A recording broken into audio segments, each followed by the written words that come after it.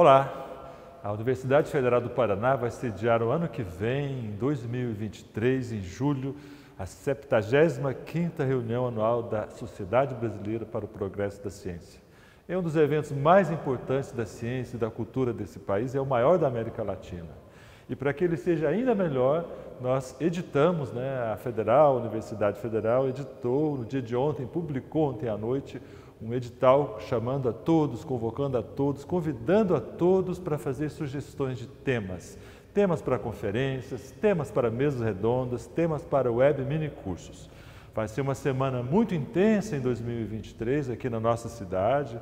A atividade vai estar centralizada lá no campus do Politécnico da UFPR, mas já vai envolver toda a cidade.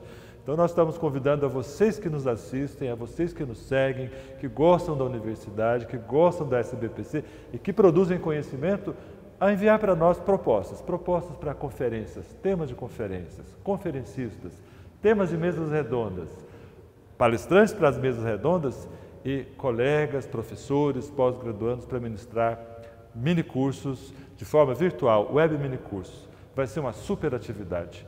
E vocês vão nos ajudar a fazer essa programação a mais rica, a mais diversa e a mais interessante possível. Contamos com vocês.